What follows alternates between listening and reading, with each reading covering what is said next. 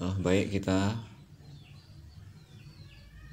bertemu kembali di channel Mujari Wiryo ini untuk belajar bahasa Inggris step by step.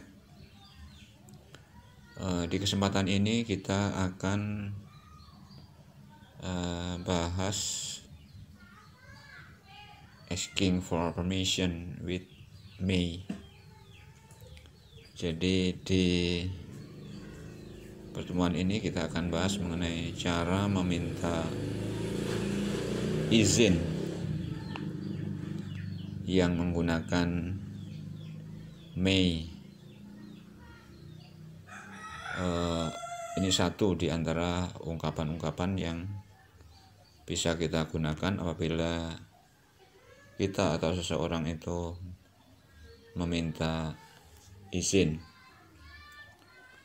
Jadi pola pokok kalimatnya uh, may kita tempatkan di awal kemudian subjeknya itu siapa yang meminta izin dan dilanjutkan dengan uh, verb one atau infinitif. Ya kata kerja bentuk pertama.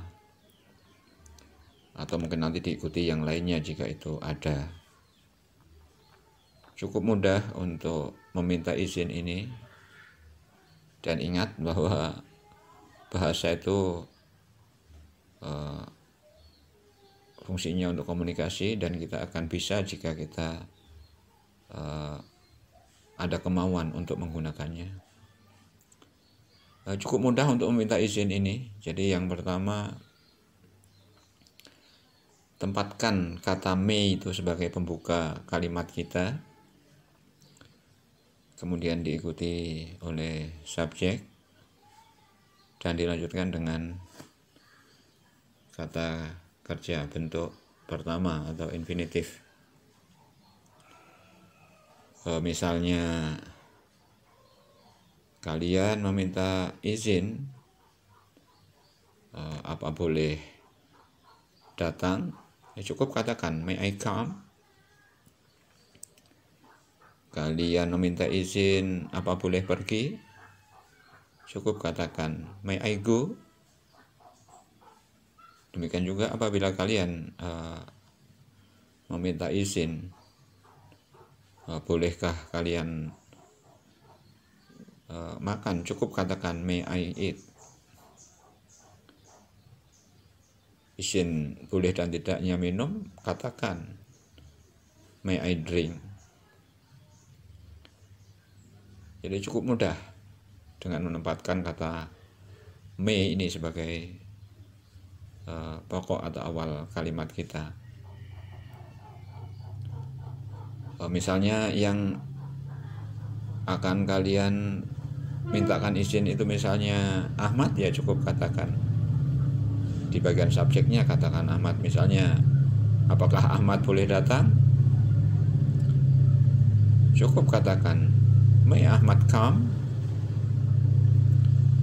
Uh, apakah dia, misalnya dianya itu laki-laki, apakah dia seorang laki-laki itu boleh uh, pergi? Cukup katakan may he go.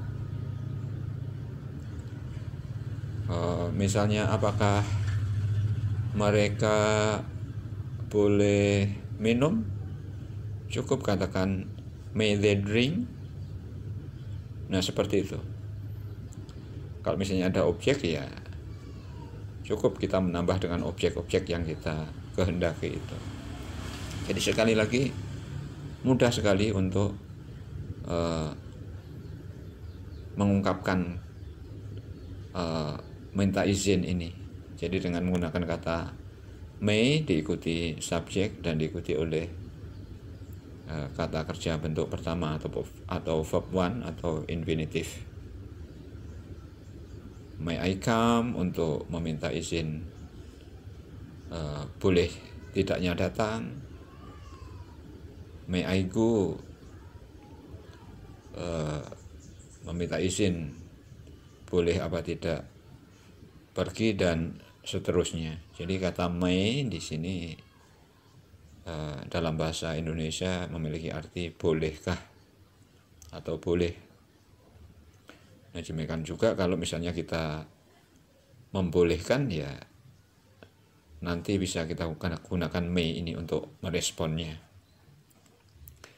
jadi itu sedikit uh, mudah-mudahan di pertemuan yang lainnya nanti kita bahas bagaimana cara untuk merespon izin ini mudah-mudahan ada manfaatnya penjelasan yang begitu singkat ini. Jadi sekali lagi uh, satu di antara ungkapan yang bisa kita gunakan untuk uh, meminta izin adalah dengan menggunakan Mei uh, manfaat untuk kita semuanya. Amin